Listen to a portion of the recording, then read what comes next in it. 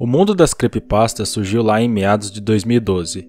A internet era lotada de histórias envolvendo jogos amaldiçoados ou programas perdidos. Geralmente essas histórias eram bem clichês, de pessoas que encontrou algo em seu sótão ou compraram algum CD perdido em uma vendinha próxima à casa, e quando foram testar tinha algo de errado com essas fitas. Aqui no YouTube, principalmente nessa época, inúmeras pessoas faziam vídeos relatando essas histórias, mas apesar de tudo isso, as creepypastas não envolviam apenas jogos ou programas, e sim entidades, que eram criadas e anunciadas na internet, geralmente inserindo uma história macabra por trás, e um mistério em relação ao seu surgimento. Há várias histórias que viralizaram na internet, como por exemplo a história do Jeff, The Rake e inúmeros outros, que inclusive eu já fiz um vídeo aqui no canal, falando sobre algumas histórias e explicando o surgimento dessas imagens. Até porque algumas imagens simplesmente são inseridas como parte de uma creepypasta, mas na realidade a verdadeira imagem surgiu de um contexto totalmente diferente. Mas uma das histórias mais famosas, juntamente com Jeff, foi o Slenderman, que surgiu como uma história sem pretensão nenhuma. Slenderman surgiu em 2009 por conta de um concurso na internet de um fórum chamado Something Awful, e nele era preciso criar uma criatura sobrenatural. O vencedor foi Eric Knudsen, responsável pela ideia da então entidade Slenderman. E como todo personagem inserido em uma história, ele também conta com suas características próprias, como por exemplo, o Slenderman é descrito como muito alto e magro, com braços muito longos e pode se estender para intimidar ou capturar presas. Ele não tem rosto e sua cabeça é branca e usa um terno preto. Ele está normalmente associado à floresta, consegue apagar a memória de suas presas, além de causar alucinações e desespero em suas vítimas, fazendo com que elas sejam capturadas fácil e rapidamente. Aqui no YouTube você consegue encontrar vários vídeos falando sobre essa história completa, ou pelo menos as histórias que envolvem o tão lendário Slenderman. Vale ressaltar que a creepypasta ficou tão famosa que lançaram um jogo que também inundou a internet nessa mesma época, com várias pessoas fazendo gameplays relacionados ao próprio. E por último, um filme foi lançado com a mesma temática. Porém, as coisas começam a ficar estranhas. E tudo isso por conta das histórias que eram contadas do Slenderman, que geralmente em todas elas, o personagem sempre era encontrado em florestas, procurando crianças, e geralmente seu som era de um ruído bem esquisito, e isso chamava a atenção delas e quando elas menos esperavam e ficavam olhando para a criatura, elas eram pegas. Mas o mais estranho de tudo isso é que apesar de algumas pessoas acharem que era uma criatura perigosa, teve histórias que na realidade diziam que era uma criatura lendária que queria o bem para as crianças. Ou seja, na verdade, ele capturava elas para levar para um submundo onde era sua casa. E lá eles poderiam encontrar algo interessante ou algo muito bom para suas vidas. E isso na realidade sempre teve na internet, várias pessoas se aproveitando de algumas histórias para influenciar a cabeça das crianças com algo positivo. E o pior disso tudo é que envolvia rituais para que fosse possível alcançar a criatura, porque ela não aparecia de forma aleatória, era preciso realizar esse ritual, mesmo que isso envolvesse o fim da vida de alguém. E é justamente sobre essa história que aconteceu uma das coisas mais terríveis relacionadas a uma creepypasta, porque saiu do lado da ficção e foi levada para o outro lado, o lado real da vida. E nessa história se envolvem três meninas, onde duas delas começaram a se interessar pelas histórias do Slenderman e descobriram esse suposto ritual e seguiram as recomendações para realizar o mesmo. Lembrando que a história que eu vou contar foi baseada em uma história real, então nada aqui foi inventado e realmente aconteceu. A vida de um estudante no ensino médio norte-americano, por vezes, pode ser uma experiência traumática, simplesmente porque o país sustenta uma taxa de 41% de alunos que sofrem bullying ou rejeição. O que é disseminado pela mídia através de representações dramatúrgicas não chega nem perto do nível das brutalidades que o jovem sofre na realidade tanto que os efeitos podem ser duradouros e às vezes perigosamente irreversíveis. Em meados de 2012, na cidade de Washka, em Wisconsin, nos Estados Unidos, Peyton se aproximou de Morgan Jaser na escola simplesmente porque sempre via a garota sentada sozinha, isolada de tudo e de todos. E segundo Peyton, Morgan não era considerada muito querida, tampouco parecia ter algum amigo, e ela conseguia se identificar com isso. Com apenas 10 anos de idade na época, ambas se tornaram melhores amigas, Saíam da escola juntas, brincavam, dormiam uma na casa da outra e chegaram a viajar em família.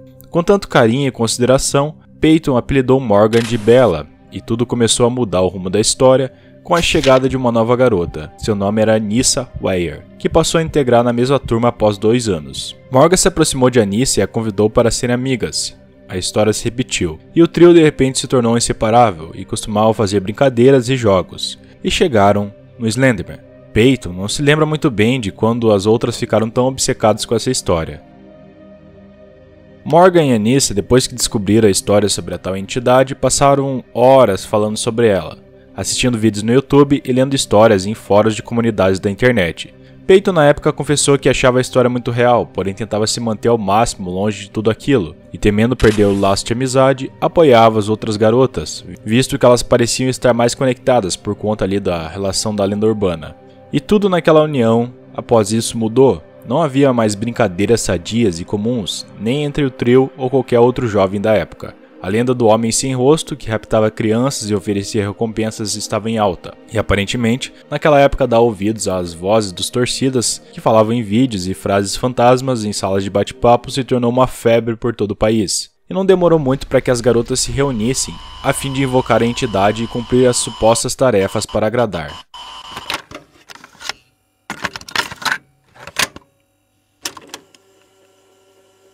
Mas alguns anos se passaram, e em 30 de maio de 2014, Morgan completou 12 anos de idade e decidiu comemorar a data em uma festa do pijama com suas duas únicas amigas. Inclusive sua mãe, Stacy, disse que ela estava muito animada naquele dia. Ela disse isso em uma entrevista depois que aconteceu tudo a situação. Mas prosseguindo, né, as garotas naquele dia saíram para patinar em uma pista fechada, brincaram e comeram pizza enquanto assistiam televisão. Peyton achou curioso o comportamento de Morgan, que se recusou a ficar acordada a noite toda, apesar de se tratar de um dia importante.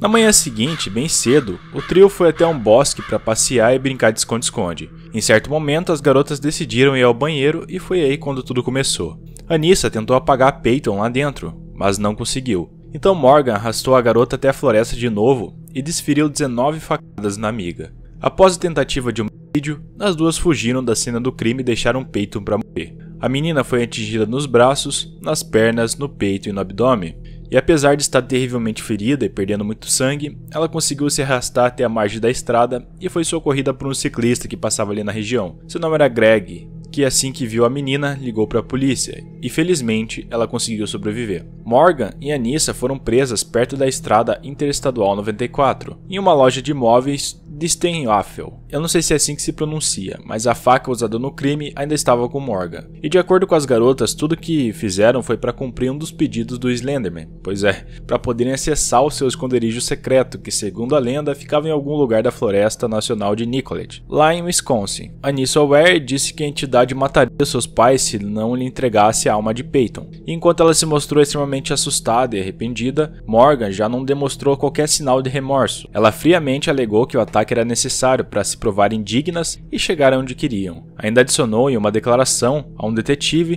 que ela já quis machucar pessoas antes porque não foram legais com ela. Através de depoimentos, a polícia descobriu que o crime foi premeditado e era para ter ocorrido em um dia diferente. Peyton seria amarrada e amordaçada para a situação, porém Morgan confessou que estava muito cansada para isso, então resolveu deixar para outro dia. Em dezembro de 2017, Anissa Weyer foi condenada a 25 anos de prisão em uma instituição psiquiátrica, depois de se declarar culpada como cúmplice de homicídio doloso. Em fevereiro de 2018, Morgan Jaser foi condenado a 40 anos de reclusão em hospital psiquiátrico. O juiz Michael Bowen disse que a medida foi tomada a fim de proteger a comunidade e garantir que não haja reincidência. O caso das garotas recebeu ampla repercussão na mídia, principalmente por meio de debates sobre o papel da internet na sociedade e como pode haver influência negativa na formação da psicologia juvenil. Cerca de sete anos depois do ataque, que quase tirou a sua vida, Peyton voltou à escola. Em outubro de 2019, a garota declarou com resignação: Eu aceitei todas as cicatrizes que tenho. Provavelmente desaparecerão com o tempo.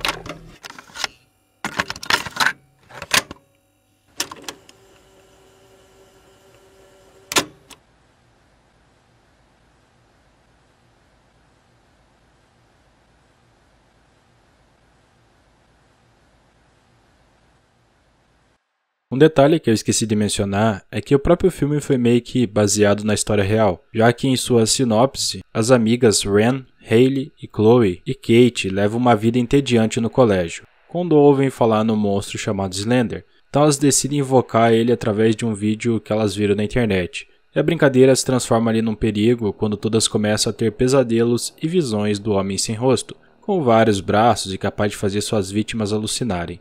Um dia Kate desaparece e, como a polícia não dispõe de nenhuma prova para a investigação, então as três amigas fazem a sua própria busca, enfrentando ali a criatura. Além disso, eu não vou me recordar em específico qual foi o episódio do American Horror History que também conta essa história de modo detalhado, sendo praticamente fiel à história real. Então, caso você saiba o episódio, deixe aí nos comentários pra galera que ficou interessada nesse caso. Mas, e você, o que pensa sobre isso? Você realmente acha que uma creepypasta pode apresentar um perigo para as crianças que leem? Ou simplesmente são casos muito específicos que podem acabar acontecendo como esse? Comenta aí embaixo também. Desde já eu agradeço por você que assistiu até aqui. Não esqueça de se inscrever e deixar um like aí caso tenha gostado. E até a próxima!